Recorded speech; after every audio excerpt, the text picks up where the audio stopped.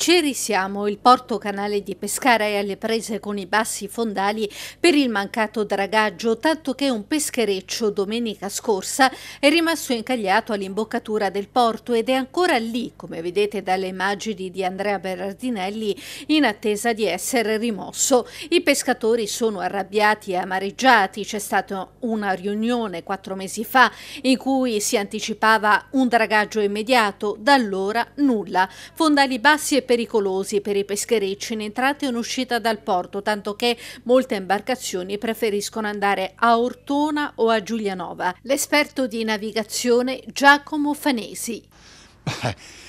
No, a questa domanda proprio non posso rispondere a che punto è il dragaggio perché tutti quanti ci dicono sempre prossimo mese, prossimo mese, prossimo mese, però non si sa quale mese di quale anno sarà. Il problema è uno, che il fiume essendo fiume quindi porta sedimenti e questi sedimenti dopo un po' vengono depositati sul fondo, quindi il fiume Pescara è stato sempre dragato, c'è sempre stata una draga fissa che in realtà continuamente dragava.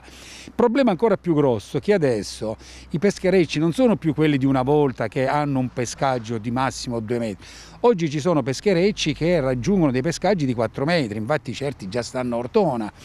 Ora, con i lavori che bisogna fare sulla soffolta che hanno iniziato anni fa, logico che il fiume deposita tutto, sia alla darsena della, del, della diga foranea e sia lungo la canaletta de, de, del fiume stesso.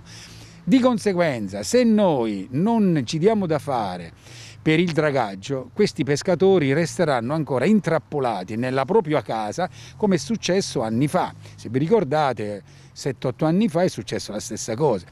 Ci sono problemi per i pescatori, difficoltà in uscita e in entrata anche di sicurezza a questo punto. Ma principalmente di sicurezza, perché in realtà siccome si è creato soltanto una piccola canaletta per uscire, immaginiamo che chi entra e chi, a parte che c'è un rispetto, loro si chiamano tra di loro, sto uscendo, sto entrando e va bene, però adesso non ci sono tutte quelle nebbie che si usano, ma in caso di nebbia sì, ci sono le radio, c'è l'AIS, la strumentazione c'è, ma c'è sempre, come si dice, l'errore umano che può accadere, come è accaduto anni fa con un peschereccio, come stavano entrando in due, uno andò a finire sugli scogli della cima del molo, dell'estremità del molo. Quindi sto porto, che ci vogliamo fare?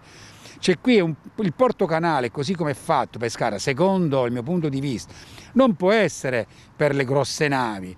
Questo, il porto di Pescara è un porto peschereccio di porto. Allora sì, l'importante è che si, magari si faccia ritornare la, un, una nave per per la Croazia. I pescatori e il presidente dell'Associazione Armatori Francesco Scordella chiedono soluzioni rapide prima che si torni a un film già visto qualche anno fa quando sulle acque del fiume si poteva camminare, ma per i marittimi non è questo il miracolo ora. Il miracolo ora sarebbe un dragaggio definitivo.